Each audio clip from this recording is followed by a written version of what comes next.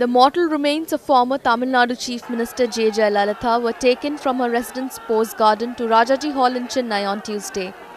Jayalalithaa passed away at 11:30 pm on Monday at the Apollo Hospitals in Chennai. She was 68. Jayalalithaa's body will be kept at Rajaji Hall for people to pay last respects.